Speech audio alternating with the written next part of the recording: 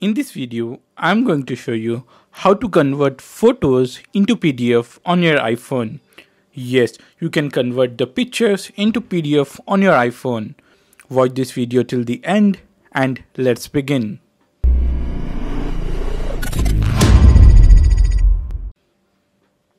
The very first step is to open the Photos app on your iPhone. Now select the images that you want to convert into PDF. You can select one image or multiple images. Now once you have selected the images, click on share button. Now scroll down.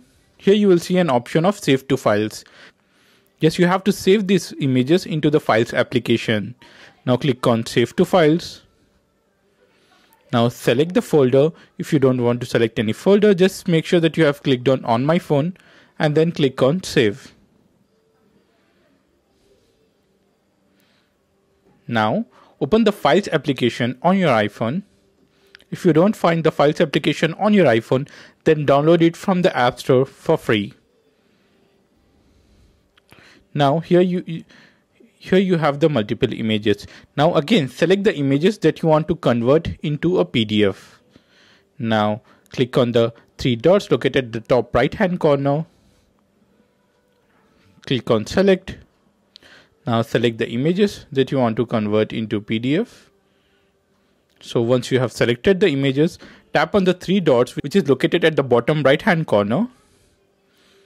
Now select create PDF. Now once you do so, you will see that the, all these images have been converted into PDF.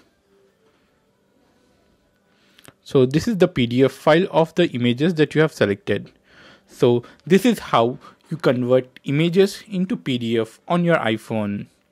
So that's it about the video guys. I hope you guys have enjoyed this video and if you did, make sure to give this video a big thumbs up and subscribe to this channel for more videos like this.